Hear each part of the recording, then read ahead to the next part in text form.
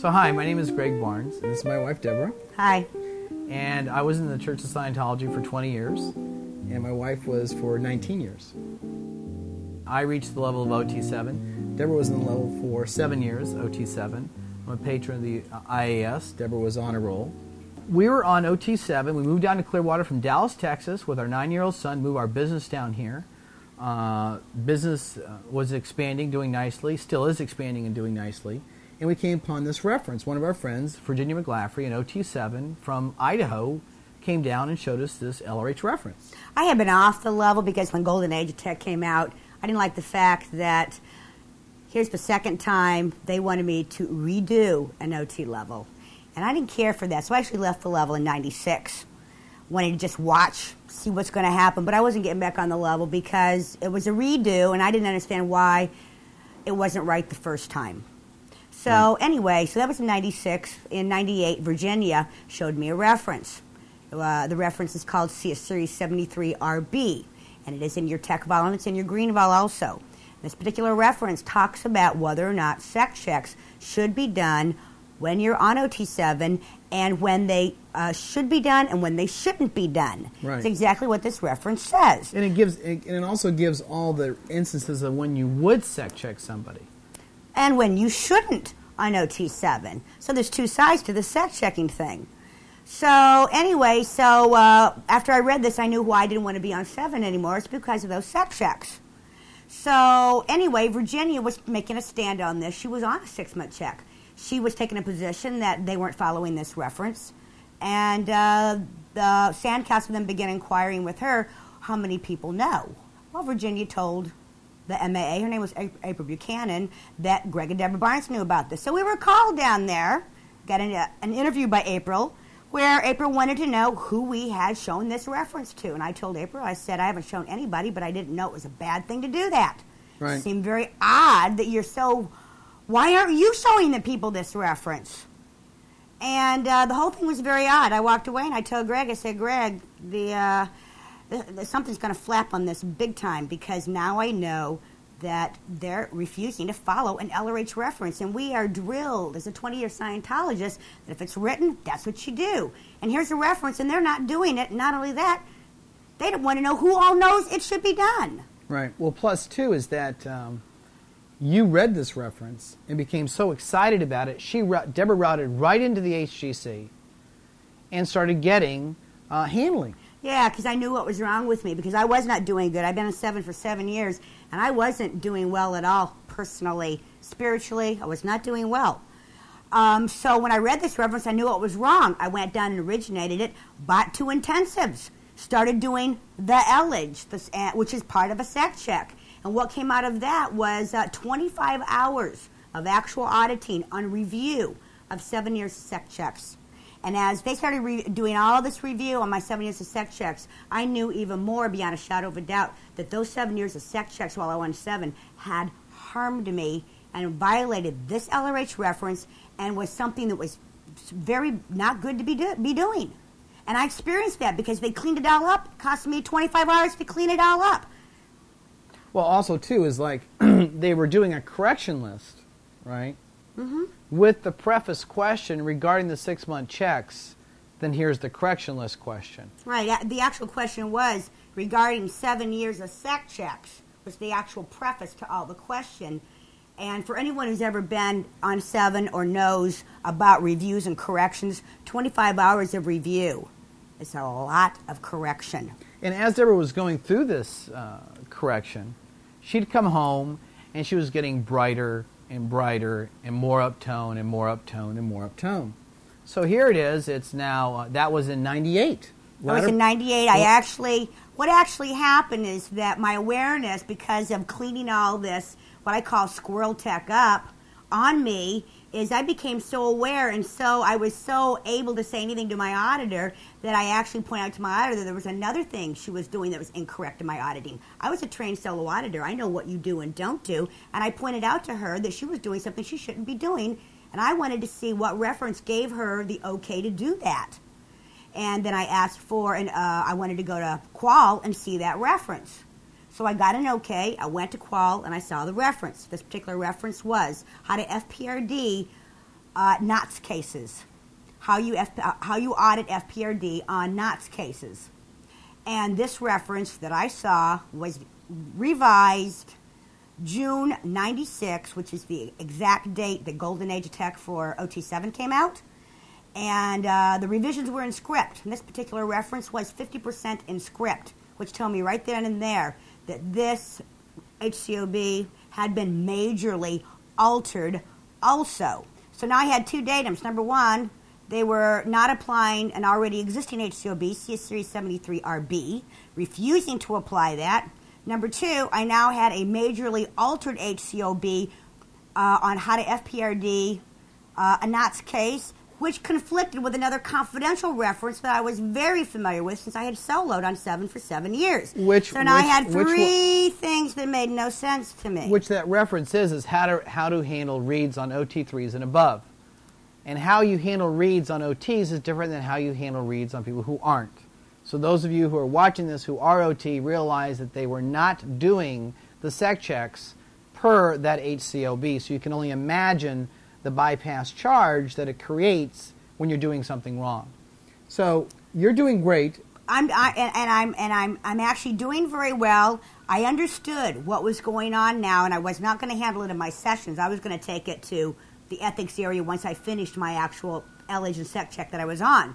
So I went back up after I finished, saw that reference in Qual, and then they told me that my auditor was too busy.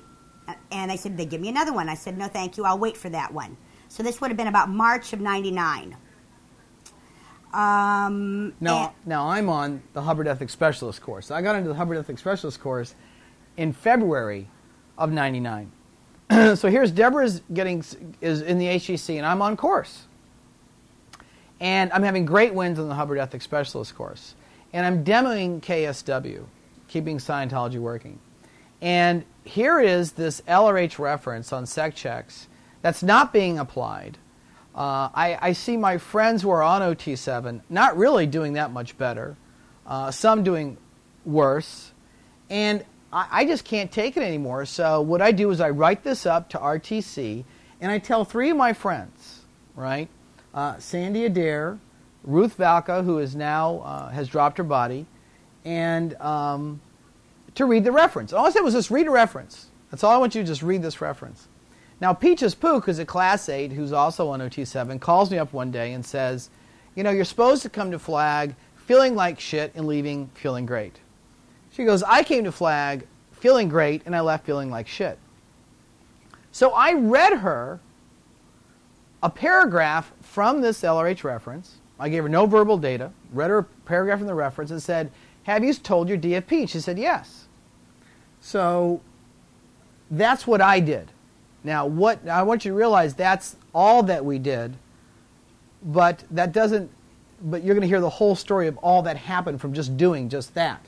Okay, so then we told those people. we told those people. I told I told them Deb did nothing. No, I didn't do anything. Deb, Deb, Deb, Deb, I didn't do anything except I was in the background going, "Oh, it's gonna flap. Something's gonna flap here." I just knew it was because see Virginia had already been kicked off the level by Flag for because she wasn't having enough sex with her husband, um, and her dad was paying for most of her bridge. This, these were the reasons she was kicked off the level and her LH wasn't renewed because she said, "I'm not doing any more sec checks because this reference says." I don't have to, and I shouldn't be doing it. Right. Right. L, this is what LRH says to do, and I want to do what LRH says to do. right. And the fact that the church, no OT7s have been made since OT7 came out, this could be a reason.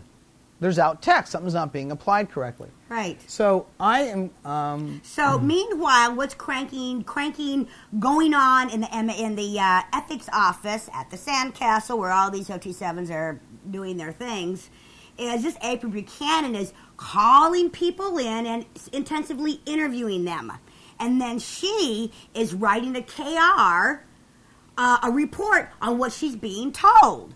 Well, she sent us a copy of one, right? And we said, April, this isn't what goes on. Now get this. She, instead of the people she's interviewing writing reports, she's writing the report. Why doesn't these people that she's interviewing writing reports? Well, because there's nothing to report.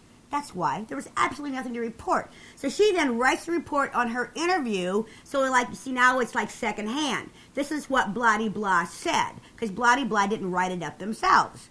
So then now she starts writing these reports and she starts accusing Greg, me, Virginia, and Mike of, black PRing the church. Well, we never said anything to anybody. All we did was tell them to read a reference. Now there's this written accusation that we're black PR in the Church of Scientology. And so we confronted her on the fact that that's not what happened, April, and, and, you know that. And she actually, we have a written document from her where she said, You're right, I take it all back. No, she took back the part saying well, we were black PRing the church. Right. because Bill Rhodes, who was there at the meeting, not Mike McClaughry, it was Bill Rhodes, yourself, me, and Virginia well, this is when Virginia showed me right. the reference. Right. It's Virginia like, first showed me the reference, then I understood what was going on. Right. And we were supposed, and we were accused of having this meeting, and that got dispelled because we didn't have any meeting. Right. We didn't have any meeting. A month's gone by since I've been back in session, so I go back down to the DP and go, "Hey guys, I want to go in session. Where's my auditor?" because I wanted to finish my cycle and just get out of there because and I wasn't getting back on the level because I knew there was something really wrong with the level, but I did want to finish my auditing cycle because I didn't want to be accused like they accused Virginia of refusing to do a sec check or refusing to finish my program. So I'm down there saying I want to finish my program. Went down there, told them that, and uh, they said, "Well, your auditor's still too busy." And I said, "Well, okay, I'll I'll wait for you to call me." That was uh, early April. Okay, so then that's when I told the people. Then, then I you, told I told Sandy, uh, Ruth, and Peaches. Right now, there was another person involved with this, and his name is Ed, Ed Gonsolin. Ed Gonsolin, Class 8 in L.A. He knew all about this reference, and he agreed. As a matter of fact, he had taken it so far as he had found five out-tech points on FPRD, on applying FPRD, which is they use FPRD on the SEC checks on sevens of applying FPRD SEC check tech, so to speak, he'd find five violations of written scriptures from Ron that Flag was doing. Comes to our house because he's here for a SEC check. Comes to our house, he's got these five reports. He's going to go down there and he's going to handle them. Because he's got five tech things that they're doing now that's wrong, according to him. Went down there to handle them. Well, we never saw him since. I'm called up by April Buchanan to come down and see her. So I go down and see April. I'm interviewed for two days, uh, totaling an amount of seven hours about why I disagree with SEC checks. And I keep telling her, April, I do not, do not disagree with SEC checks. Hubbard says here in this reference, don't do it. Well, who told you that you, you should not agree with SEC checks? Has Virginia McClaughry, has she influenced you on SEC checks? I said, no. The, here's a reference that says what it says. That's all that it says it should be applied. So April's telling me how we can't apply this reference uh, because we can't trust OT7s. They falsify worksheets. And I say, well, then those people should be pulled off the level. So finally, after seven hours of interviewing, and I'm not agreeing that we shouldn't apply the CLRH reference, I'm ordered to SEC checks. And I'm disagreeing with this. Go, hold it. We're discussing a reference. You're not willing to apply it because RTC is running this six month check line. And I'm now being ushered to SEC checks. I don't understand why. So I, I agree to go. Um, and it's not a SEC check. Basically, I am routed up to the HGC to meet with an auditor by the name of Therese Bloom, who is a Class 9 Golden Age of Tech uh, auditor and Auditor of the Year award winning auditor. Um, and I think she's foreign. I shouldn't say I think, I know she's foreign. Uh, that's a Friday night. Uh, session goes not too easy, right? The next day I go in, uh, on a Saturday, I request a different auditor and a different CS. I'm denied the auditor and CS. Uh, I didn't sleep well the night before, uh, but I'm taken back to the, to the auditing room anyways. Therese puts the cans in my hands. I say, look, I'm not sessionable. She goes, that's okay. We're going to do an FPRD correction list anyways. I go, that's, I go, hold it. What do you mean? You know, she goes, do a MATAB test. So I did a MATAB test, right? And I said, look, I'm not sessionable. I didn't sleep well. She goes, That's okay. We're going to do one anyways. I put the cans down. Um, I said, No, we're not. That's squirrel. We're not going to do it. Um, I refuse to pick up the cans up. I'm then routed to the ethics area saying I'm being uh, not cooperative. Uh, we come back now. I'm then escorted back up to the HGC by April Buchanan and Cosima, one on either side of me, ushered back into the room. Now said, "You're going to do a ethics interview." said, "Fine, let's do an ethics interview." The ethics interview is a repetitive command. Starting off, and the command is, "What overt has been restimulated?" Uh, it's being run repetitively. Uh, nothing is being taken up that read. I can't believe nothing read. A few things read, she said. Uh, never was taken earlier similar. Was never handled OT style. Uh, after about 45 minutes to an hour of this, I say no more. Uh, Therese stands up because I say, look, this is crazy. I'm leaving. This is, this is fucked. Therese stands up, says, I know you're mad at me. Why don't you hit me? Now here's an auditor at the sandcastle wanting me to hit her. I said, I said, I don't want to hit you. I'm not even mad at you. Can I also want to interject something here? For those of you that are trained, you know the damage that this type of question can be done on an OT7. It's called a listing question. You never, ever, ever do this and unless you want to make someone crazy. So the fact that they did this meant they intentionally were trying to make my husband crazy. Bursting through the door is Cosima and April Buchanan. Because you're refusing to continue. Because I'm refusing to continue. I'm then physically taken to RTC, told that I got 10 people off the level, I'm not being cooperative, and I need uh, to continue with this ethics interview. I said, fine, I'll continue with the ethics interview, but I don't want Therese Bloom asking me a question. We go back upstairs. I'm put into the auditing room, and guess who's in there now but Therese Bloom? I agree to go back at it. She asked me a few more questions. I go, this is insane. I'm not doing it anymore. I get up. April Buchanan and um, Cosima come in the door again. Just, the door is unlocked. They come in the door again. Uh, they close the door, and now they will not physically let me leave.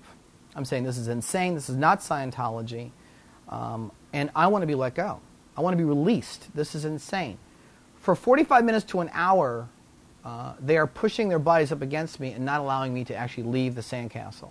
Also, aren't they threatening you? Oh, yeah. Oh, I'm being threatened with um, uh, your marriage will be ruined, your kid will be pulled out of a Scientology school, you'll be. Um, lose all your friends. You lose all your friends, We're your business. put a turb on you, we're going to declare you, all these threats. They're threatening me, and I said, Look, I don't care what you do, but this is insane, this is not Scientology, and I'm leaving.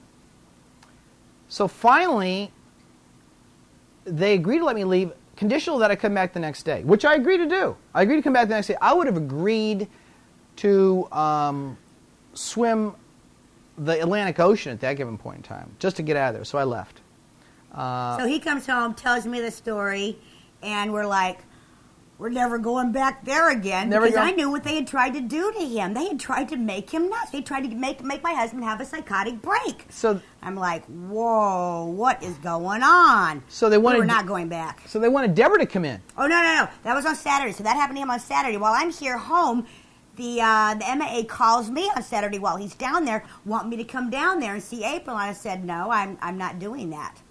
Um, if you, I don't want to do an interview with April, and if you want me to do an HCO check check, I'll do one. I got nothing to hide. I'll do one. And, uh, And Debbie Titus was your auditor, and you I said wanted Debbie Titus is my auditor, and Debbie Titus is the only one that's going to audit me. And then I also said they wanted me to come down and get on, you know, do a metered interview. And I said no, I can't do that because I drank a beer with my pizza last night. Friday night I had pizza and I drank a beer, so I'm not meterable. So I'm not coming down. So that's what happened because that's an important thing because it comes up on my non-interb as a whole nother story. So now here it is uh, Sunday. I refuse to go in. I tell them I won't let them do to Debra what they did to me. Monday, Cosima calls me and says, Well, if you won't come in, come down and get your non interb order. I said, Just mail it to me. Right? Um, on Mother's Day, we, uh, we go to my parents' house. We come back. There's a message on a recorder saying, Your ComEv is being called at 7.30. Come on in. We, we rushed. We found someone to watch Chase. Yeah, we were in shock. We didn't even have a knowledge report written on us. Right. So- I mean, we didn't even know there was anything like this going on. So we went in, and here is a bill of particulars on Goldenrod, okay, listing out that I got 10 people off the level, that I blew a sec check, Debra drank so she wasn't sessionable. Um, what are the things on purpose. Oh, oh, it's a whole list, whole list of stuff. So published in the Sandcastle MAA's office, none of which is true, and they know it. So we're like, where's our KRs? Uh, well, that's not our responsibility to get your KRs. Yeah, you can see your K. That we were told you can see your KRs at your ComEv, So- which that violates policy because normally you don't even have a ComEv until there's been a whole bunch of KRs written up on you, and uh, you know. So here we are having a ComEv, which is the highest justice action in the church, being accused of some pretty bad things, and we have no copies of KRs. Not only not only that, we were not allowed to even get a copy of the accusations they printed on bill- their little goldenrod, which per policy we're supposed to have a copy of that. Now we showed them the HCOPL where it says uh, Committee of Evidence and um, policy letter says you're supposed to give the person a copy of it. They said, well, here, see this? You saw it. That's your copy, but you could, we couldn't take it with us. Right, we asked them point blank. So- Why won't you give us a copy? And they and they basically said one of the uh, chair people of the committee said because we don't want to. Okay, this is really getting interesting. So anyway, We go to the comment. so that was Sunday night. So then Monday night we're allowed to see our KRs. And so Greg and I show up. It's just Greg and me. And we go over the same, the Fort, this is the Fort Harrison at the MA's office of the Fort Harrison. Yeah, the whole MAA area is closed off at the uh, Fort Harrison. That's a pretty big deal, actually. All closed off for our ComEv. Greg and I are there, and we're taken one by one into a room with April so that we can see these KRs. I am shown a KR um, by a gentleman, uh, he's a public person, uh, where he was told by uh, Herb Zerden that I was running a business out of my house illegally. This was a KR written on me. Uh, it was written uh, KR by Peaches Pooks, uh, where I told Peaches that I don't allow people to write KRs in my business. Uh, if they got something to say, say to each other, right? And this is about a paragraph like this, as well as, um, and that was it.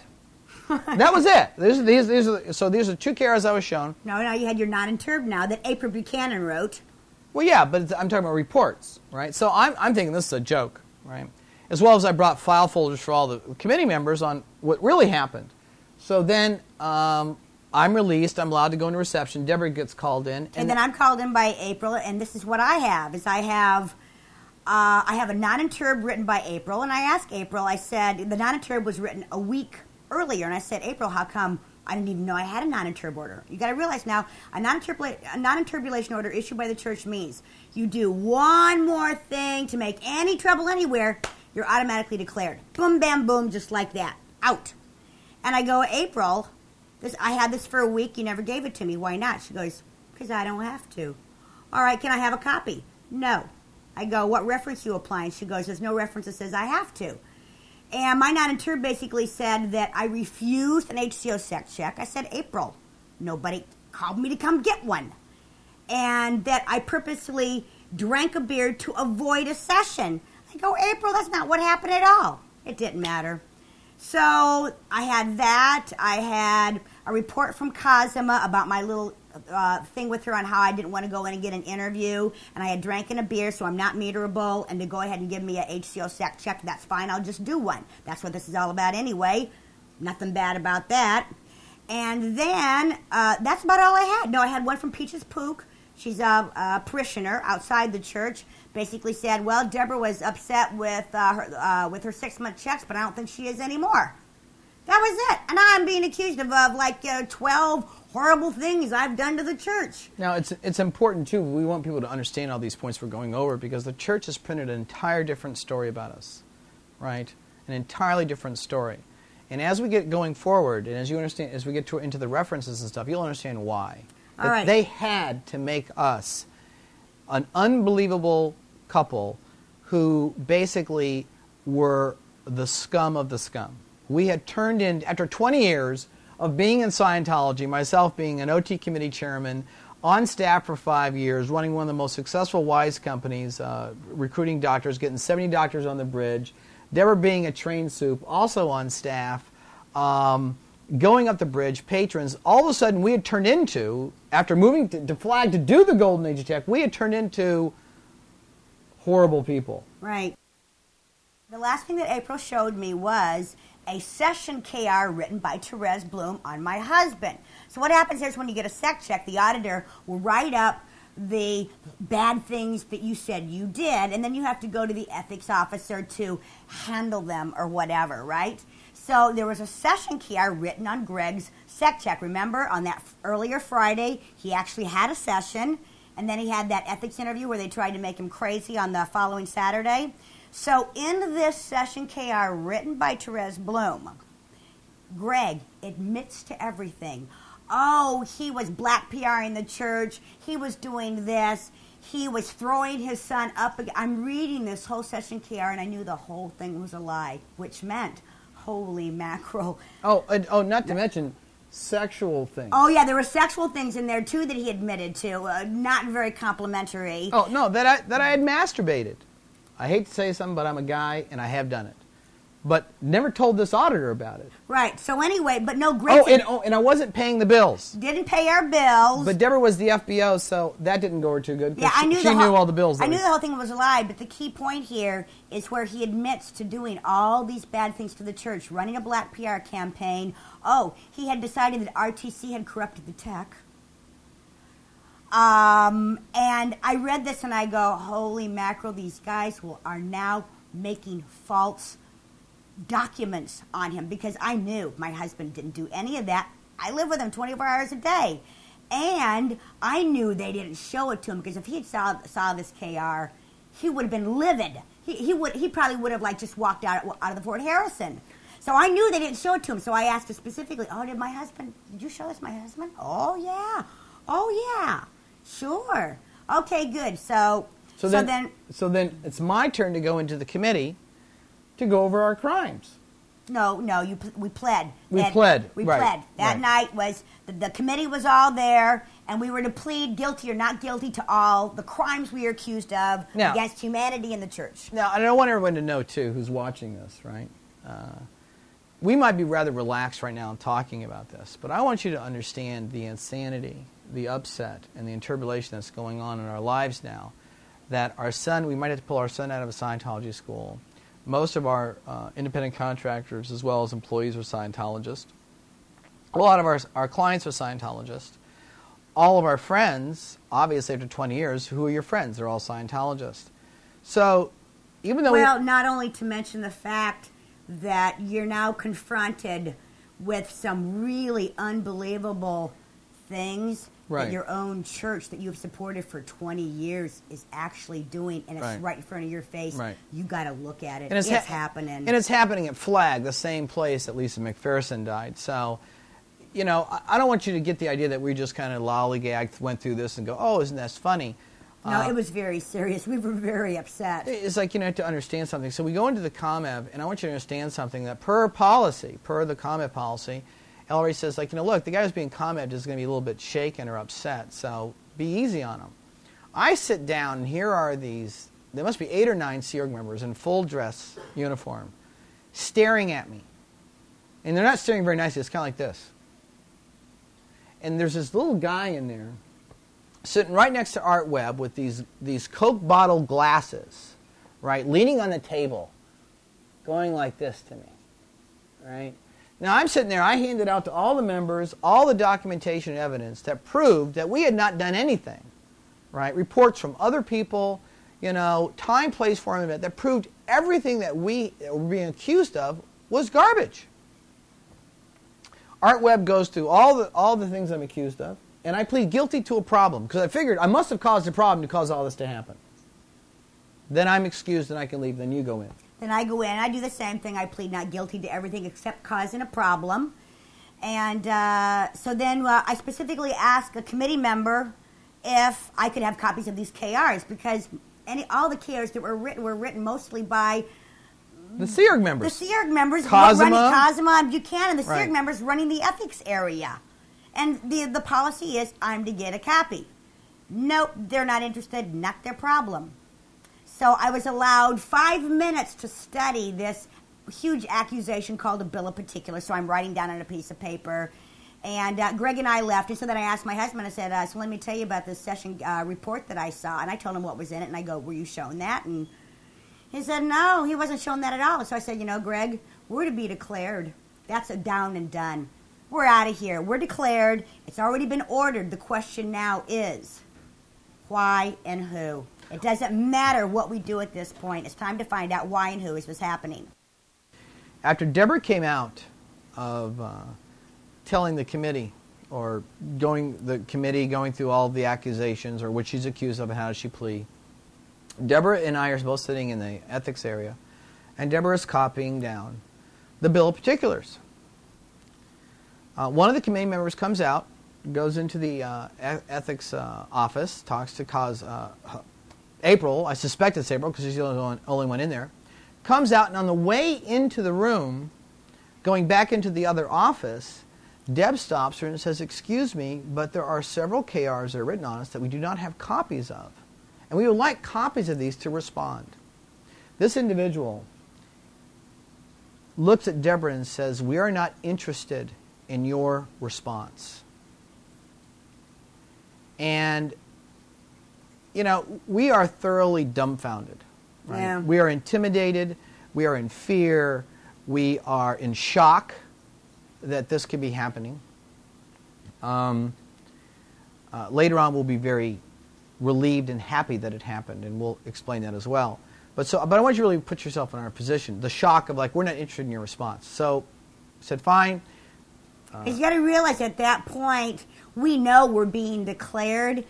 The ramifications of that at that point are devastating in your life. Right, It's almost totally. like 20 years in Scientology, you don't know what you do if you were declared. And, and, and none of our contributions, which took up two full pages of, of foolscap sized paper, single spaced, amounted to nothing. Amounted to zip, right? So we leave. So we, so we leave, and of course, I asked my husband if he saw that session KR where he admits to doing to doing all these bad things. Right. You Oh, yeah. know, all these bad things are. Uh, I uh, moved down here to Clearwater to, to start a black PR campaign against RTC. That's right. With my business, I planned to do a, a black PR campaign. And if you believe that, then you'll probably believe the church that I was on the grassy knoll in 1963 and I shot John F. Kennedy. I'm surprised they didn't accuse us of that. You know, or sinking, or sinking the Titanic. But I what mean- they but what they did do is Greg saw the actual correct session KR on that session he had. That's what he was shown. I was shown a different one, totally false. So I go, wow, Greg, now they're making up false documents in an effort to third party people. Right. So we leave. Mike and Virginia come down. Go, they go to their ComEv, and we've agreed to not go back until they apply policy. Yeah, after day after day two, because uh, Mike and Verge came down the next day. They went same scenario, and now Virginia's also read parts of this phony baloney session KR on my husband where he admits everything. She's read parts of it, so we go, okay. They're telling people, other people about this, and reading to other people. Here, Greg admits to all these horrible things he's done to the church, right? And, and I want you to understand something, uh, because in a future video we will be discussing some of the lost cases on libel and slander. And a church can shun its parishioners. That is legal in the United States for a church to shun, but you cannot accuse people of financial wrongdoing, wrongdoing or sexual or- wrongdoing. or sexual wrongdoing. So here is your management now setting you up to pay more court fees for a libel or slander case, okay, which they have lost before. Uh, not with us, obviously, but with other people. Virgin Mike show up. They go through the same routine the next day. And then the next day, for some reason, which is now day three of the ComEv, Virginia and Mike go down to the ComEv, but they're not supposed to show up. Here is a room full of Scientologists now who are being thoroughly educated on the facts of Greg Barnes, Debra Barnes, Virginia, and Mike. Right. Room, I don't even know some of these people, right? Being thoroughly indoctrinated to and reading all reading all the stuff about us, blah blah blah, right? So when Virgin Mike came back and told us about that, I went, "Hey guys, this isn't a ComEv. They're not applying one piece of ComEv policy. A matter of fact, there's no policy that's written that they're even doing." I said, "This is a black PR campaign. This is a pretended ComEv to ruin our reputations." So they're running a smear campaign on us, disguising it as a ComEv. That's what's going on. I said, one thing that Hubbard did that I found out was real workable is that if you have something that's really, um, what's the word I want to use, interpolating on your lines, just cut it. Quit communicating with it. So we decided we were not going to participate with the ComEv. They would call us, we'd ignore their phone calls. Oh, we'd get threats, this, that. Well, we, we wouldn't, we wouldn't call them back. Well, the we wanted nothing to do with it. Well, the fact of the matter is, too, right, is that they called, and this girl said to me, um, wish I remember her name. I have it on one report. She goes, when you, she goes, when are you guys going to come to your senses? I said, when are you going to come to your senses? I said, as soon as you start applying LRH policy, we'll start cooperating. Send us copies of our KRs so we can respond, and we'll cooperate. Right. Well, the other thing that we did, we go, well, this is a bullshit ComEv, so let's just write it up to IJC, explain to him what's going on, and ask for an honest one. Right, and, and realize too, we're talking very calmly now, right? Uh, we got about maybe three hours of sleep a night. Um, We uh, worked fever, you know, didn't eat well, feverishly worked, setting up mounds and mounds of reports, right? Uh, FedExes to IJC, help us, help us, help us. Uh, comms to all the international management, right? Um, and they knew about it all. They knew about the squirrel sec check. They knew about the, the, the black PR campaign, all of it. I got two comms back from IJC saying, thank you for the information. Uh, we are reviewing it. If you have any more information, please provide it to the ComEv committee. Uh, and that was it. right. In regards to, And- we sent we sent IJC a uh, request to get rid of this ComEv, issue an honest one, and here's our contributions. Because see, contributions in Scientology are supposed to carry a lot of weight. We Right. had two pages, two huge pages of con- 20 years contributions, and uh, we never got any response to that ever. Well, matter, matter of fact, when I asked the ComEv committee member if she had seen my contributions, or our contributions, I go, Did you see our contributions? She goes, Yes. I go, What do you think about it? She goes, Well, we're not sure it's all true. so, so you, you got to realize every, every corner we turn, we are being invalidated, invalidated, you know, evaluated, nullified Suppressed. suppressed. There was a total attempt, and they did a very good job, to beat us into submission. Right. And I can only say this that after spending close to a half a million dollars in Scientology, about $150,000, $200,000 on OT7, that we had gotten something out of it. The ability to hold a position. Because, see, they weren't applying LRH. We started looking up PR Series 18. If you get out your green vols and look at PR Series 18, Hubbard will say, if somebody's black PRing you, they have crimes. They have huge crimes, dead bodies. Well, you got Lisa McPherson. Embezzlement, other major crimes. crimes of magnitude. So we decided, the four of us, Verge, Mike, my husband, and myself, decided this is a smear campaign on us. We got to investigate our own church. Right. It's time to start investigating to find out what the hell is going on. So you got to realize we're using our own scriptures to find out what the hell's going on and who, what is going on at the church. For and, Christ's and the only thing that kept us sane was Hubbard's data on if this is happening, do this. right. So here's the organization, the mecca of tech, and not everybody over there. Let's be very, very clear. We have a select group of individuals, right, who are have gone insane, literally insane. Okay, and so now we start applying the PR Series 18. So we start investigating. We get on the internet. Oh man, we're, we're, we're looking up court documents, and boy, oh boy, are we finding stuff. Well, about six weeks after the ComEv, remember how this all started out with that uh, CS Series 73RB, that reference that was said you're not applying it, and then they wanted to know who, who all of you told this reference to. Matter of fact, I want to see, and I want to show this, if I can. This is in the CS Series 73RB is an HCOB, but it's also in Tech Vol. It's also an HCO PL. Uh, it's in this technical book, the green book, right? What do you call them? The OEC. OEC. Sorry, it's camera nervous. Right on page one one one one. 1111 is, is what page it's on. And I just want to read you one quick paragraph so you understand what we're talking about here. And Hubbard says, and this is on page 1113, at the very top says, pre-OTs progressing well in the no interference area should not be interfered with by sec checks or anything else.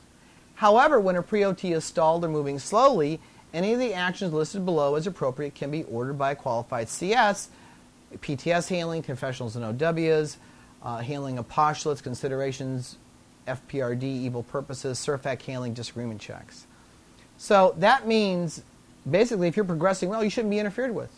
Every six months, somebody's being interfered with. Um, and I also want to back up a little bit to let you know, too, that I wrote up, here's a full letter to David Miscavige, right? And regarding the six month checks, because I couldn't find any any policy letters There's no reference on six that has checks. a, has the name six month check. Now it's called refresher, and I can guarantee you, there's no HCOBs or, or policy letters regarding refreshers. But that at that point, it was six month checks. Now I wrote a letter to Miscavige, and I got a letter back from Ensign Ann Rathbun, and it says, "Dear Greg, your letter of April 29 concerning the subject of six month checks was forwarded to me to answer." As the Deputy Inspector General of Flag Land Base, I can deal with such matters directly.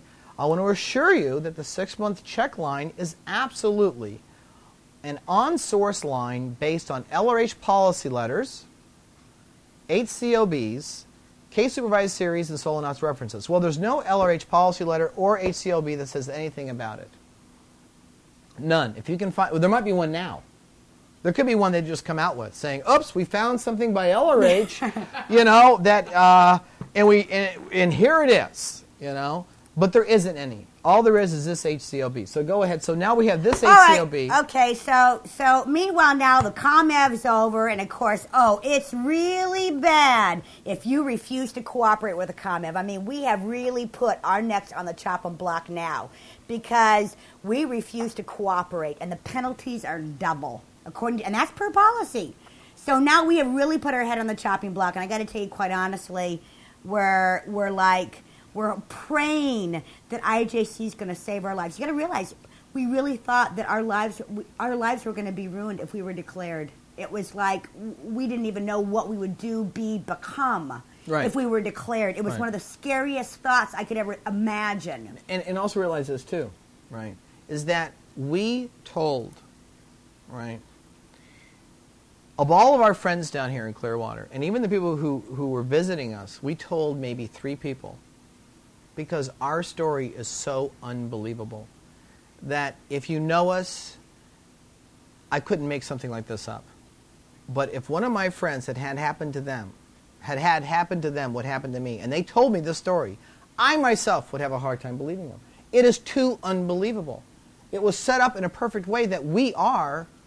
Who are you going to believe? Well, let's finish the story. okay, so Where did that, the story's not over, okay? It gets better. It gets better. So we're now sit, we're laying low. I told Greg, all right, we're, we're here in Clearwater. You know, we're five minutes from the flag base. We're just laying low, lay low. I go to one happens. stop shop every day to pick up our mail. And Right. now, and, so, and we have a billing service for, for chiropractors. So all of a sudden, uh, one of our billers, Tony Reed, calls up and says, Dr. Maggie Goodyear is leaving us. And I said, why? He said that she spoke to Haviva, an MAA at the Sandcastle, and um, she basically um, Greg, you're Greg, you're missing the you're missing the first part of that. Okay. she was told No, no, no. That that wa- that all occurred when they when they did the smear campaign local. Because remember, it got on what's her face lines, and she called her, and then she called her. You got to talk about the smear campaign first. Remember, they started with Bonetta Slaughter. Oh. Come in Oh. and see what the Barneses Oh, have I'm done. sorry. Okay. Oh yeah, All they, good. they started a smear campaign. All start- No, no, no, no, no, no, no. This happened next. Oh, yeah, go All right, that. so it's now we're laying low. We're just laying low, and we're we're we're hoping for the best. We're hoping for the best. Not going to make no trouble. We got nine in terms, one wrong move. We're declared. We're not going to give them any honest reason to declare us. If they're going to declare us, they're going to have to do it by made up stuff. I didn't That even- was our attitude. I didn't even They're gonna- speed. Right, I mean, I we speed limit. we just laid low, right? They, they weren't going to get me on nothing except they had it had to be a lie, right? Because we, I knew now that the reason for the non-enturb is that if I told anybody what they just did, I'd be declared. And see, it would be a, a right reason to do it. I upset somebody in the field with my lies, So right? then- so anyway, six weeks are going by now. It's past the ComEv, and all of a sudden, we get in the mail CS Series 73RA. Now you got to realize this RB and RA and all, these are re- revisions. B would be uh, Revised third th- time. third revision, and we had A, copy of A. Okay, good. Now, the first thing we got to cop because we kept we kept wanting to figure out what is the big beef with this reference. This the fact that we said that they were not applying this reference created all this hoopla, all this lying about us. Man, there must be hot, something hot about this reference, and there is. There is very something hot about. It. Number one, it was written uh, in 1971 and revised in 85. Hubbard died in 86. Right. So, so one could assume that this was in fact revised by L. Ron Hubbard because he wasn't dead yet, right? One could now, assume that. The one thing that's real interesting is that the RA version is 12 pages long. The RB version is only five. Wow, that's a lot of information that's just been ripped out of a reference. Right. Now, also, okay, so what happens now, too, is that our friends are being called up. No, no, no, no, no. Nope, here's what happened next. So, what do we do? we don't really know what's going on in the church even at that point, even though we're investigating. We faxed it to OSA. Because they got to know somebody's corrupting the tech. My God, do you know what kind of legal situation this could put the church in? Right. We think we're helping them. We didn't realize that we were like the Jews reporting to Hitler. The, the SS is killing us. We faxed it to OSA going, what the fuck's going on here? Look what somebody's doing. We found it. We found it. You got to find out who's doing this, putting our church at risk, right? And of course, it wasn't long afterwards we found out that that was like re- the Jews reporting to Hitler, the SS is killing us. Because now they knew we had the reference. Now we were becoming real dangerous because we could prove somebody's corrupting the tech. There's a story about this reference. There's a class 8 in the field. I'll leave out his name. He was a uh, CS at AOLA in, Calif- in Los Angeles, California, back during 1988 to 1989. RTC sent a huge mission out to pick up what's called Class 8 packs, which is a series of all the technical bulletins and scriptures on on uh, a, high, a highly skilled auditor would know and have and always use. This RA 12 page reference was in there. RTC wanted them all picked up. Well, this Class 8 didn't like that. So he hid his Class 8 pack so it couldn't be picked up. And this particular reference was in that Class 8 pack. It had never been printed in a book because they were always reprinting the books, and it never got printed in a book. So it was very easy to hide it. And basically, they are now hiding this particular reference. They're hiding it so hard, the fact that this reference exists isn't even on the RB because they they always supposed to list all the revisions on a bulletin. This revision isn't even on the third revision. They omit it completely that it even exists right. on the third. They're hiding it so hard. And in this particular reference, uh, Mr. Hubbard makes no bones that on OT7 you don't even FPRD somebody. He says that specifically. You do not do FPRD on someone who's on OT7. Right. Okay. So now we fax this to OSA thinking that we are doing the right thing. And what ensues from there is now the black PR campaign. Locally now. Locally. Local smear campaign happens very shortly after that, where once again April Buchanan is now calling people in the field. She starts with Bonetta Slaughter. She starts with because Bonetta Slaughter knows everybody, would get everybody on the bandwagon. Larry, they're, all, they're all pulled down to the MA's office to be shown these accusations the on bill us. Of, the bill, the of, bill particulars. of particulars, and God knows what else they showed them. And, and, and who are you going to believe? Who are you going to believe? Are you going to believe the MA's office, or are you going to believe some public sitting in the field? Well, nobody ever asked us anyway. We, we, we didn't even respond well, were, to any of this stuff. We had no copies. Right. They were told, look how bad these people are. They've gone wacky. Right. Don't talk to them. They're they're in ethics. They're no, no, they were told that a declare was imminent because, and how we found out this was going on is we got faxes from people, uh, faxes from our friend, from our so-called friends saying, "Oh, go down there right now. You got to handle your situation. You're going to get declared. It's coming right now." Right. Well, we were on vacation when that yeah, happened. we were actually on vacation. These faxes were coming in. So anyway, so then we find out that. Um, then one of our clients leaves because she has been read uh, this rather uh, slanderous and libelous document, uh, which you should all also know is contractual interference. Okay, uh, she leaves our service um, because she's told by by the church that we're bad people, and she won't pay her bill. Yeah, she okay. won't pay her bill now. So now I've had enough of this. So I basically get one of my friends locally uh, used to be friends, to contact Ben Shaw, who is the CEO of OSA Flag, And I send him a communication, and in that communication, I list out what's going on, uh, the black PR, the contractual interferences that's breaking the law, and so, this has to stop. The insanity has to stop. Yeah, like we, you know, we're still thinking OSA. You know, OSA's a, a place to go to. It's creating an exterior situation. Right. So let's back up a little bit. When I contact Ben Shaw, we have not faxed him this. Oh yeah, OSA Int had it already. Oh, oh OSA yeah. Int. Okay, so OSA Int was sent that. OSA Int was faxed that. So Ben Shaw calls us up, calls us up, and we go down and see Ben Shaw at the bank building in that nice big conference room, and Ben Shaw is sitting there with this other girl who I don't know, this lady. And Ben Shaw is very concerned. He goes, You know, you're right. This thing has gotten totally out of hand. Why don't you let me investigate what's going on and I'll get back to you? So he gets back to us, right? That's what the first meeting. And we think he's going to do something. Yeah, we actually think, like, okay, good, we found somebody saying here, somebody's going to handle this craziness. What the heck's going on He's here? going to do something. And, and so he calls us up, and was that the meeting I'm going to have now with, with is it Kathy or Debbie True? Yeah, yeah, it's Kathy True. Kathy True. So I'm called up and said, you know, Greg, OSA Int has sent down someone to handle your cycle personally. Wow, that's pretty good. So um, he goes, I want you to meet me over at the Fort Harrison. Well, I'm not too interested in really meeting on church property, considering what we've just been through. He goes, look, he goes, it's me. Just chill out. It's okay. So I said, okay, good. I'll, I'll meet with you. So I meet with Ben. Uh, he then introduces me to uh, Kathy True, And now she's an auditor. who then who then escorts me up to the HGC. We're talking very nicely into an auditing room, where she then opens up a red vol to withholds. And I said, "What are we doing? I thought you were here." Oh, and Ben Shaw said, preface to us meeting, he goes, "She wants to ask you some questions about this entire cycle. She knows all about it. She knows more about it than I do." So here we are in the HGC. I said, "Well, I thought you wanted to ask me some questions." And she goes, Well, I want to handle this first. I go, Handle what? She goes, Well, I want to help you. I go, Great. Then let, let's stop the black PR campaign. Let's handle the false reports that are put on my wife and I. Right? Um, and I said, Because you're not going to audit me. And I said, Plus, if you really wanted to help me, you'd be doing an L4BRA or BRB. I just finished the uncertainty course. And when you, because when you have all this out tech on somebody, you do a correction list, not hatting them up on withholds. See, that was the whole thing. Introvert you, introvert you, introvert. It's you, it's you, it's you.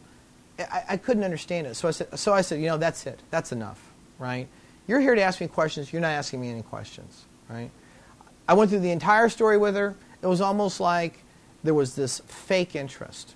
So I leave the Fort Harrison with her. Very pleasant uh, goodbye and the whole bit. We have another meeting with Ben and Kathy. I said, I want, we want to see the KRs. We want to see the knowledge reports. Yeah, because they, yeah, because they're like, oh, oh, well, they said, well, these knowledge reports are really bad, and of course now OSA's telling us that the the the the ComEv is has been stopped On hold. on hold. ComEv's on hold. That's right. Um, and uh, we're going to try to sort this out before the final findings come out. Right. And so what happens next is we go to, so here's our third meeting with Ben Shaw, and we are now told we are a legal threat. Well, I asked Ben, I said, so Ben, how come you won't give me copies of the KRs? And he goes, because you're a legal threat. And I'm going, what? I haven't even talked to a lawyer. And I'm going, oh, and, and then I realize I'm a legal threat because all these reports are lies, which is why they can't give them to me. Because if they gave them to me, I could go legal on them. because So- it's all a bunch of lies. That's why they can't give me copies. Because if it was true about me, there's their defense. So now we're called now. So now we're nullified some more and introverted, attempted to be introverted. That we're now a legal threat. So Ben Shaw agrees to meet with us again, and this time give us the KRs. No, read them. We can Read. read, them because he goes, "Oh, they're really bad." Oh, well, yeah, because I, call, like, I called Ben up a week later and he goes, "So where is it?" And he goes, "He goes, I've seen him." And he goes, uh, "There's some pretty serious reports here." I said, "Okay." I said, "When can we see these pretty serious reports? We want to respond." So we go there, and it's, it's myself, uh, Debra, Ben Shaw, Debbie True, Kathy True. Kathy. I keep this girl's name. Kathy True. Now we look at these reports. There's a report written on us by, uh, and these none of these are KR. No, there's a few of them are KRs, but we don't have any copies. we don't have we don't have any copies, and, and it appeared that what was going on is that even after a ComEv, they are majorly soliciting anything they can from anybody. As a matter of fact, one thing that they had also done is one of my vendors, one of my most productive vendors who worked for me, who was a Scientologist, who didn't know anything about us, was actually. Remember when they were um, uh, black, Calling people down calling there. people in the in the field here locally in Clearwater, all of our friends, anybody and everybody, calling them into the into the to find out all about us. Um, they had they had called him down there also, and uh, They're he- good. Yeah, he, he he was very very upset. When But- he he said when he left there, he thought we were bad hats. yeah, he thought we were really bad people. And he knows us. And he knows us. He works with us. But, he when- knows but when we brought him back, when he came back here and he met with us, and we showed him the reports by the MAA herself, retracting some of the stuff that she had not told him that she was retracted, he got an entirely different perspective of it. So now it's our last meeting. This is our well, we didn't know it's our last meeting, but it's our meeting with Ben Shaw and uh, True, or is it false? Anyways, and so we meet with them. Uh, they show us these reports, which is See, and they're sitting there as we're reading their, these reports. Ben Shaw and Kathy True, they're sitting there and they're watching our reaction, right? You can just tell that is the whole thing is there. They are trying to create some kind of effect on me here. I'm reading this stuff mm-hmm. and I just start laughing because it is so completely, utterly ridiculous. I told Ben Shaw after I read him, I said, Ben, I don't even want a copy of this trash. There isn't any, there isn't one shred of evidence that I have committed any crime on the church. And I told him, I said, just finish the damn ComEv. And he says instantly, You're blackmailing me. And I go, What? I'm blackmailing you? And then I realize that they're using this declare as blackmail on me.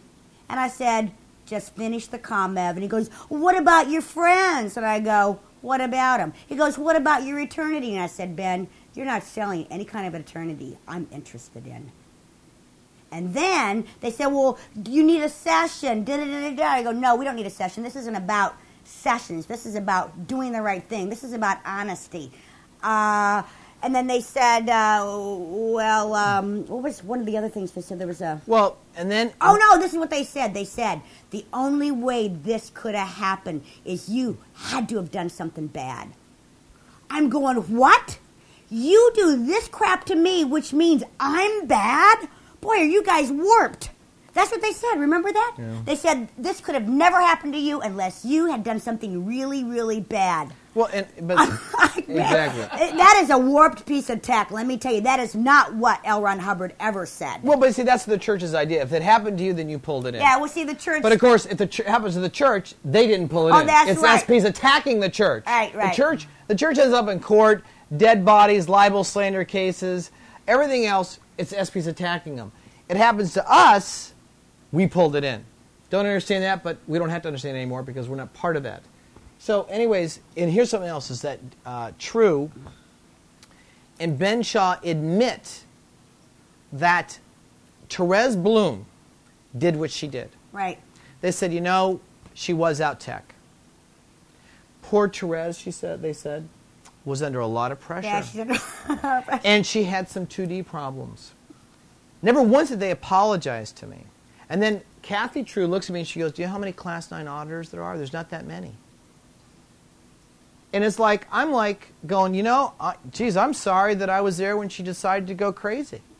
You know, I said, but who was the CS? Oh, there was no CS. Oh yeah, then they tried to say there was no CS. I go Nah. bullshit. The CS was a, was the deputy senior CS, you know, over there at the Sandcastle. Yeah, that was Right? Oh no, no, it wasn't. I go, hold it. I was told that my CS was the deputy senior CS.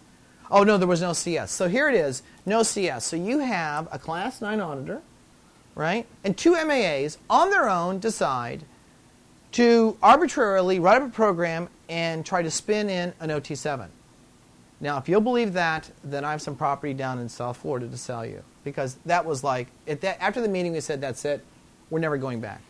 Yeah, yeah. Because see, now we know that OSA. It was- it eh, was- OSA is going to do nothing for us here. As a matter of fact, was- OSA is covering up. And you know, and here's something else too. Remember, I said this to Ben Shaw. I said, you know, Ben, if I was going to black PR somebody, this is exactly how I would do it. I want you to picture this. You have Cosima, who's been the MAA at the Sandcastle forever. You have April Buchanan, who's this cute little blonde with this very convincing smile and ARC and care. You have this award-winning, you know, uh, Class gold- nine auditor, Age of Bloom. Tech auditor.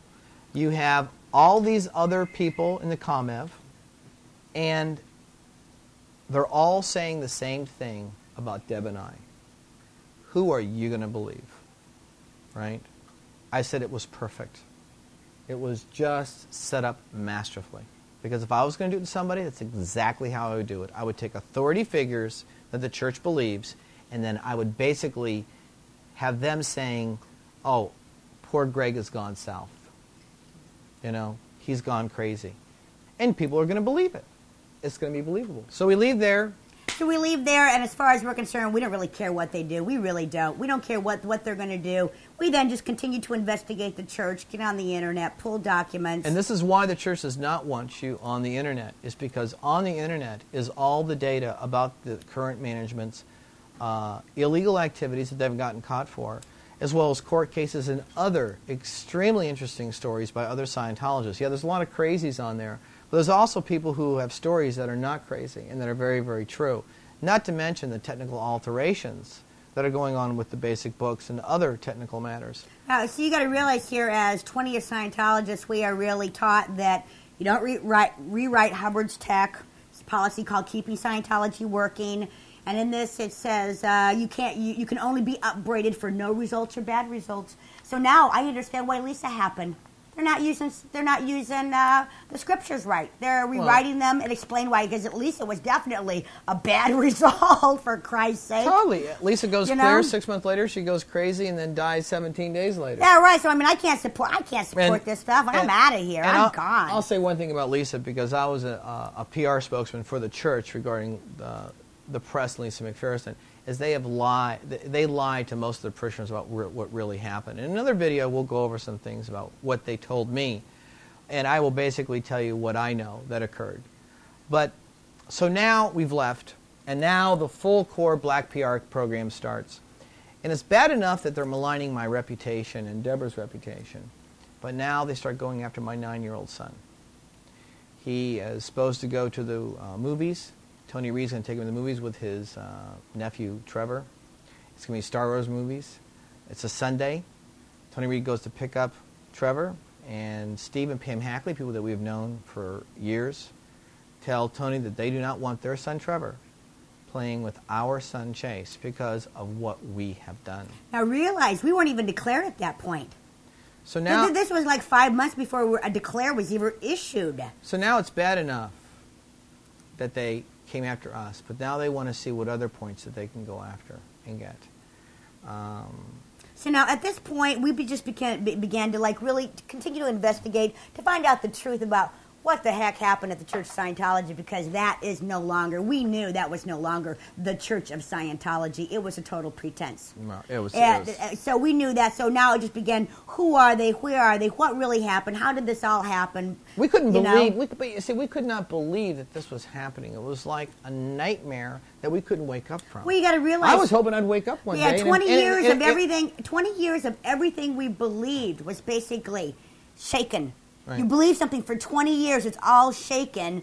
And it was a very humbling experience, but I wouldn't change that experience for anything. Because one thing I wanted, and one thing I still believe in, and Hubbard said this, is that live with the truth. Be on the road to truth. So I told my husband, I said, I want the truth. I don't care what it is. Right. I don't care. As long as I, as long as the truth, that's what I want because I want to live my life with the truth. So anyway, the the uh, OSA then also began to use but Lisa McPherson trust to smear us, even though we had never caught, never really done much with them or anything. They were we telling never, people right that we were, but we weren't. We, I had never spoken to anybody at Lisa McPherson Trust. Matter of fact, we were hoping the church would go away. We want nothing more to do with any conflicts they were involved in, right? right. And, and then it got to the point to where uh, now we're going into January of 2000. We think they're going to go away right? It's been six months. Yeah, and we just thought, okay, we're laying low. We're not making any trouble for them. Next thing, not making any trouble in the field. We're right. just laying low, minding our own business, doing our thing. But we're we're in, we're watching them on the internet and investigating them. So next thing we find out is that one of uh, Chase's teachers at Delphi uh, faxes us a note and says that. Uh, she no longer wants her son to play with Chase no, after no, no. No, that was after the declare. No, no, three was, weeks. No, no, it was before the declare. No, it wasn't. Yes, it, no. excuse, excuse me. It was before the declare. No, it wasn't. It was after the declare, Greg. Oh, was it after? Uh-huh. Three weeks before we declared, Herb Zerden, long-term friend of ours, is called directly okay. by OSA to be told. I don't know what all they told him, but he called us up and said, "Your son cannot play with my son anymore." Up to that point, this was January now. Up to that point, Chase was still playing with his son. There was we never said anything to anybody. Any Scientologists we did deal with, we never told them anything. They wouldn't believe us. Who would believe us? Who would believe us? So we never told anybody. So any contact we had with Scientologists, we, we were just, hey, you know, not It never was- never talked about the church, nothing. So then, so we go, oh, okay. That was three weeks before the declare was actually issued. So I go, so Greg, they're either really going to issue it, or they're still trying to like get us to come back, or I don't know what I don't know what they're doing, right? So, but it was upsetting because now I got to explain to my son why he can't see his best friend anymore. So, anyways, so on February 14th, which is Valentine's Day, uh, we received our badge of courage, which is a SP Declare, right here. Okay, and I want to go over some of it with you. It says in October of '98, Greg and Aaron Barnes spread falsehoods and black PR and advocated squirreling of the standard application of LRH technology in an effort to prevent others from progressing up the bridge. Um, that never happened. Okay. Now, I also want you to understand too that in the policy letter on how to issue ethics orders, LRH says be specific. So they say that we spread falsehoods and black PR. Uh, that's not true and can be proven not true, but it doesn't matter. This is what is the church says, and there are certain individuals that will just believe whatever the church says. Don't look and think for yourself. Just believe what we say. Um, they basically said here that we've attempted to convince other Scientologists to participate in squirrel actions. I don't know what those actions are, but we have pointed out that the six month check, now called refresher, is not standard. So I don't know how we want people to participate in squirrel actions. They created enturbulation with their off source activities, Natter and Black PR. I don't know who we nattered to. Uh, in Nat- Pretty much everything they accused us of, we can prove that's exactly what they did. It says here they refused numerous offers to apply standard LRH tech to straighten out their confusions and out ethics. Not once were they willing to apply any policy. Not once were they willing to apply any form of decency or ARC in discussing with us or being upfront. Our it was sealed, packed, sealed, and determined where we were going to go. If we did not crawl back on our hands and knees, and I'm sorry, but if that's freedom, I'll take slavery. Okay, that's it was just gross. So here it is. Number three it says issuing alter is Scientology technical data or information or instructional or admin procedures, calling it Scientology or calling it something else to confuse or deceive people as to the true source, beliefs, and practices of Scientology. So, ladies and gentlemen, what they're saying is Debra and I, and anyone who knows us knows how busy we are. In our spare time, we drafted a 12 page LRH HCOB. We actually went down to the Copyright Office. We copywritten it, copywrote it, so that we could basically publish and i- issue this as Alter technology. And if you believe that, well, you can believe it. But we were declared and black PR'd for doing nothing more than finding out that somebody is rewriting LRH technical bulletins. Not only that, they're rewriting it to make money because the sec checks that sevens have to get every six months are very expensive to the tune of $16,000 every six months. Yeah, 16 to 20 with accommodations and airplane fare. Right. This is a very expensive activity, costs a lot of money, and basically we caught them doing something they shouldn't do. We could prove. LRH said don't do that, and it's all about money. And, but it also too, it wasn't a matter of catching. We didn't. And it wasn't like we were looking. No, we weren't really. It's like here it was. Here's an LRH reference. Let's apply it. And and and the fear of it. Oh, also, what should be known too is Ben Shaw said to you and I. We said, "Did you get this reference? This is the 12-page CS Series 73RA." He goes, "Yes." Where'd you get it? Yeah, that was the only He thing didn't they say asked anything us. else. He they wanted to know where we got that copy. And we're like going, and no one's willing to talk to us about this reference. Uh-uh. No one's willing. It's like, where'd you get it? It- It's, it, you know, guys, unbelievable. Now we were declared, and um, we had nine independent contractors, eight of which were Scientologists, and um, of the 75 some odd clients we had, maybe 20 were Scientologists. Um, and I want people who are watching this, whether you know us or not, or whether you're a Scientologist or you're thinking about getting in, that your life becomes nothing but Scientologists. You know, your friends are Scientologists, the business starts becoming Scientologists, and so now, what's going to happen? So the church started going after our clients. Uh, one of our clients, very specifically, they went to his office. They actually threatened him. Yeah, he was a Scientologist. Um, he refused to disconnect, so to speak. And uh, the church actually went to his office and threatened him with a declare if he didn't disconnect from us. Right. And he just basically refused. So, so here, so here it is. It's like you know, uh, all we're getting let- we're getting letters from clients saying uh, uh, the uh, the church just called me and I'm terminating my contract effective immediately. Right. Uh, now the big question is is how did the church know who our clients were? right. So that was interesting. That's a, that's that's still an unanswered question. And then, and then here, here are these independent contractors, uh, two of which said that they were our closest, dearest friends. And now we have become the devil incarnate. Uh, they disconnect. They have nothing more to do with us. They won't communicate. We have to threaten them legally to talk to us.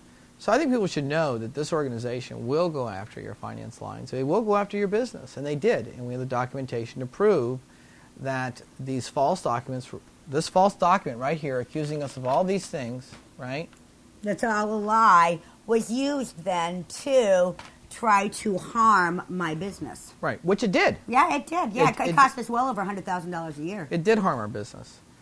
Um, so that occurred. Um, it's not over yet. Um, and, you know, we are taking somewhat of a risk on really coming public and saying this. But we want our friends to know what really happened, okay? Because you won't hear this from the church. They can't tell you what really happened. Because if they told you what really happened, you'd walk away. So um, I want to say that um, after, after being declared and realizing what we realized, and, and, and, and we put and we stood up to a tremendous amount of pressure by the organization, very specific people in the organization, OSA, uh, the MAA's office, and other people, uh, not to mention our friends on the outside. Uh, we, put up with we, we, withstood all that because we believed in holding a position that this was right. It was not right from, from um, I'm going to be right no matter what, and I can't look and I can't see. But this is not okay to treat people this way. Okay? And all of a sudden, all the things that I had read over the years in the newspaper, I'd seen in TV, or read in, in magazines was true.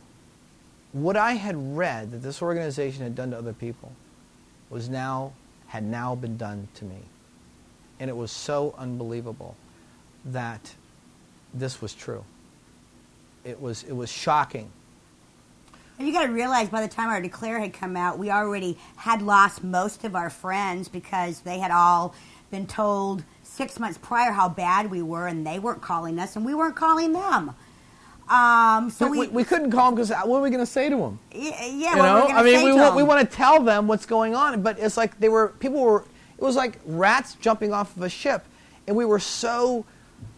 Um, we were shocked that here's people that we had known for 20 years, 15 years, 10 years that we had helped financially or helped in other ways, or they had helped us, and all of a sudden, uh, just because some organization says we're bad, just because someone said we're They bad, believe it. They be- it's like, and even if they didn't believe it, they didn't want anything to do with this because, as as as one good friend of ours, you know, Jeff Shafter says, I don't want to get in the middle of a war. It was like, where's where's the code of honor? You know, never allow affinity to be alloyed, never desert a comrade in need. That was nowhere. It was virtually nowhere. Um, but here's the thing that I want anyone who's in the church, who's ever thought about leaving, um, and that's your own decision. You know, we're not here to say that everything is bad, about the technology because it's not. We think there's there is value in it. We want you to know something that it is so exhilarating to no longer have to condition your thinking, to have to uh, justify your actions to some 17 year old MAA who knows nothing really about life or family or kids, right? To be able to have your own thoughts, to be able to talk to who, any, anyone you want about anything you want, right?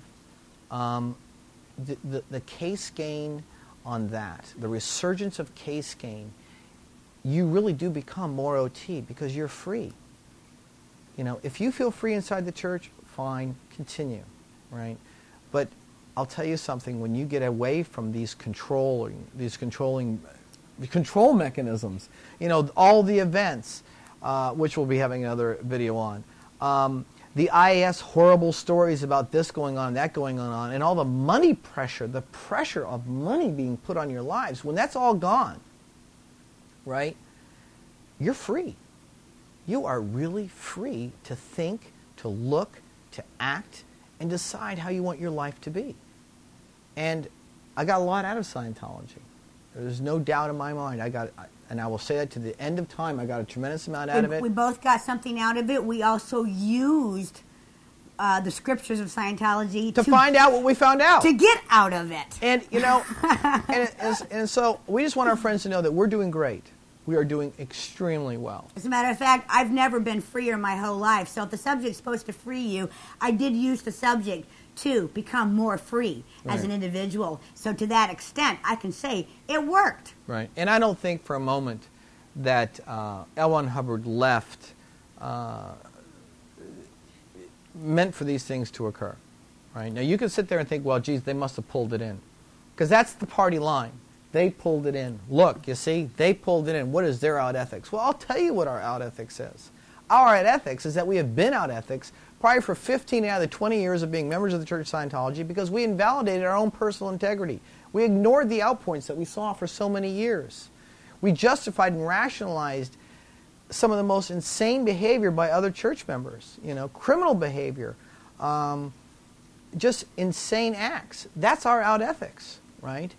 And we decided we got our ethics in. And we got our ethics in by moving to the, to the mecca of tech. We live five minutes from Flag. We have not left. We have not moved. We have no intention of moving because we like Clearwater. We like Scientologists. We're not enemies to Scientologists. Any of you can call us whenever you want. You can talk to us. If you still love the technology, that's fine. You can love it. We like it too, right? Uh, if you want to talk and ask us questions, we'll be more than happy to answer them for you. Uh, but we want people to know that it's time that you do something to speak out, that you look where the church doesn't want you to look, and be very specific the management. Get onto the internet look where they don't want you to look. If you have one of those uh, web page uh, disks that they put into your computer, realize that that web disk that they put into your computer is stopping you from looking all over the internet.